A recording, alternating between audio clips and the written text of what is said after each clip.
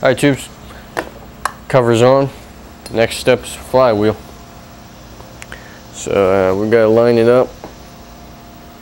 Line up with close to where the key goes. That's good. Put the Zoom key. in so see it a little better. Okay, good idea. You're half a mile away. There you go. That's, that's good. So the key goes right here.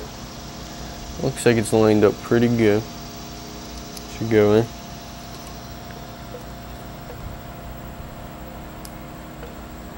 That should go in pretty easily, so that's how we'll know when it's lined up.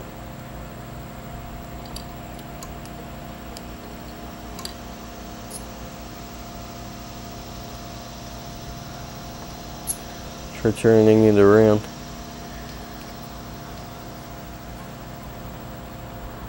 Hmm. Normally we don't have this much difficulty.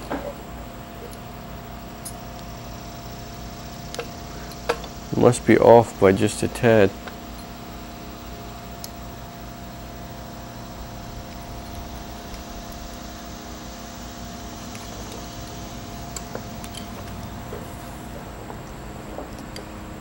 I know you can't see anymore, but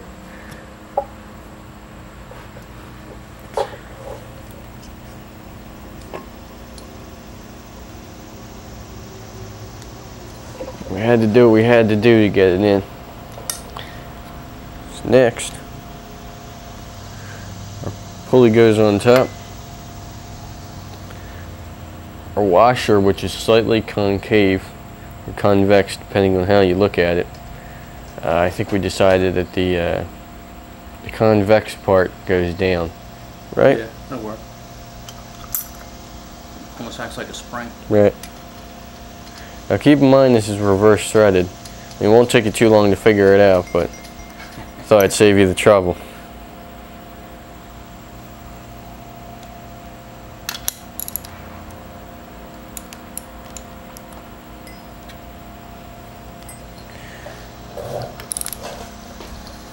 Go ahead. Little Road King help you there. That's good. Alright. So next thing we're going to do is check our air gap. So I'll show you these things. Uh, Road King here, he's got a couple different ones. Here's the one for Tecumseh.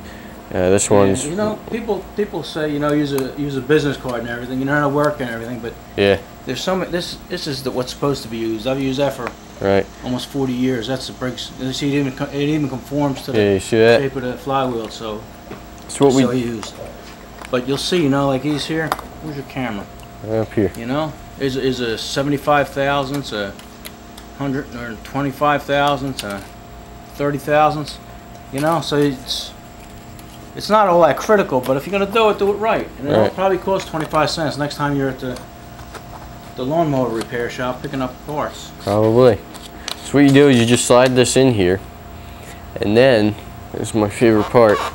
You turn this till you're right where the Show 'em show 'em where your magnets are. Uh, okay. You see the magnets right there? Yeah. Okay. You spin it around to where your uh, the magnets are underneath. Just like that. Now, loosen up the screws. Loosen up your coil. Screws on the coil. You don't have to loosen all that. Yeah, that's true. That's, that's a pretty strong magnet.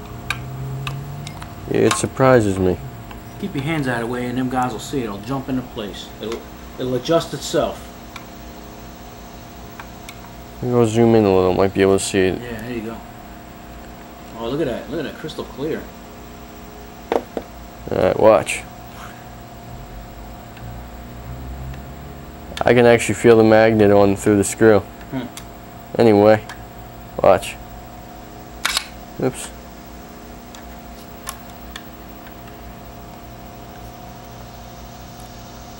See that? Look. There, there, there it went. Fit right It did it. Now we just tighten it back up. Huh. I'll zoom out for you so you don't have to watch my hands. Yeah. I almost didn't see it jump in place. Live television, all right? Yeah, that's right.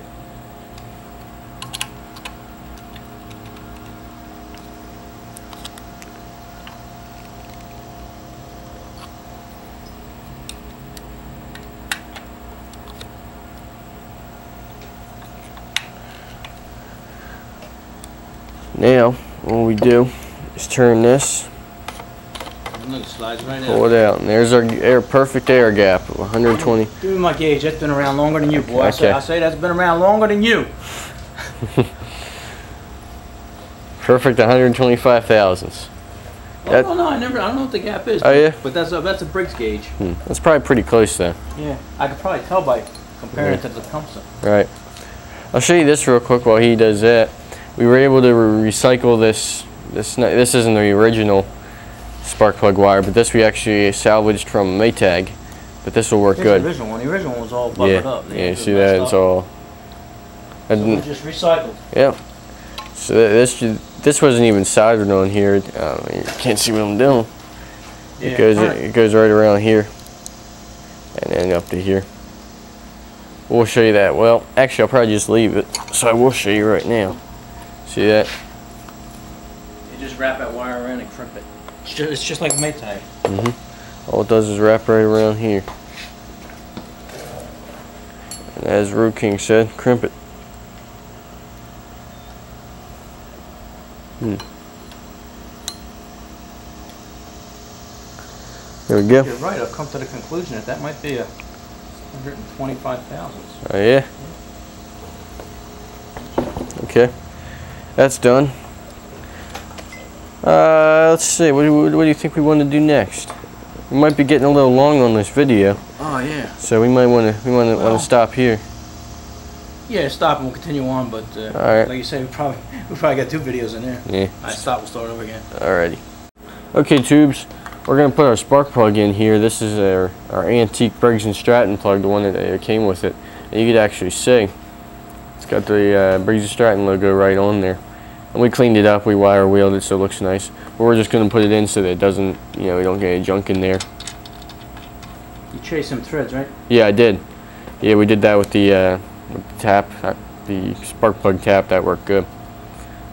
Put our recycled spark plug wire on here. Put your Maytag wire on. That's all for that. That's all there is for that. What do you want the shroud? You want me to shroud here? Yeah, yeah. Give me the shroud. I'll put that on.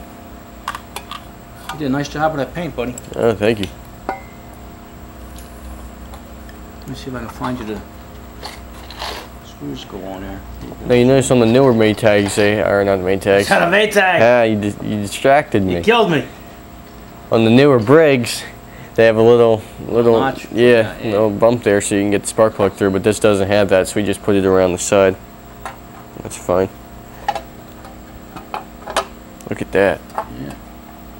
Fingerprints on it. I'll try not to. There you go. That's right.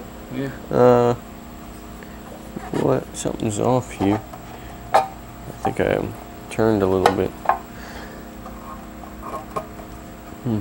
Still having a little trouble. Uh, you know what? I think the wire's yeah, the wire's supposed to go around this side because if you look on this side, it go, Oh, comes yeah. down like this, but on the other side, there's nothing there.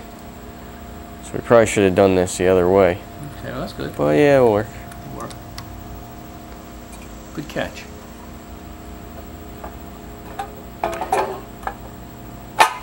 Yeah, that's that's the way it's supposed to be. I don't think we have any. Well, no. I'm looking at this other one here and seeing where that plug was. You know what? I, I think I think I have the wrong screws here. Here we go. That's the right one. Take that off. I think there might be a hole in the side there. A hole in the side. Yeah. All right. Show the show. Oh, we messed up here. oh, we did. Take a look at this. A little diff. Well, you can see. You see these two holes here?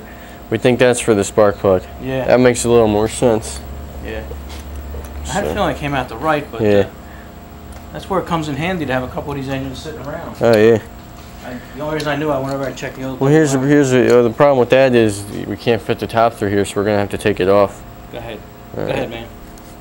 Well, I know you put a lot of work into that, so I wanted to double check with you. It's okay. You gotta do it right, even if you gotta do it a couple dozen times. Yep.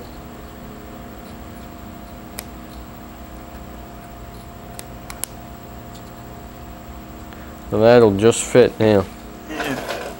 but it will fit. Yeah. Pause that for a second. And, Yeah, uh, we'll- we'll get that set up.